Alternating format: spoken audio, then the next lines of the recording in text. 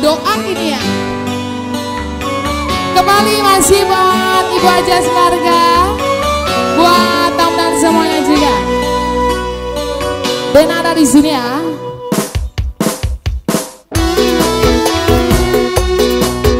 Sesuai kalau suasananya